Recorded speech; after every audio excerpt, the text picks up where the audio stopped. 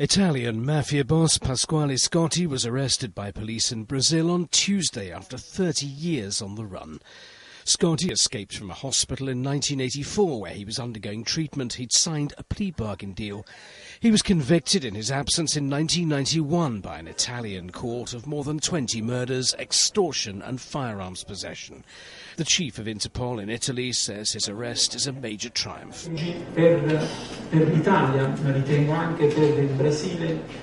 The arrest of Pasquale Scotti is for Italy and also for Brazil one of the most important made to date because Scotti is considered one of the most dangerous Italian fugitives still not in prison. Brazilian police say Scotti was living under a false identity in plain sight in the city of Recife. He's fathered two children and runs several businesses. Italian authorities are preparing to start proceedings to extradite him. Inquiries are now underway into his business dealings to see if further charges will be filed in Brazil.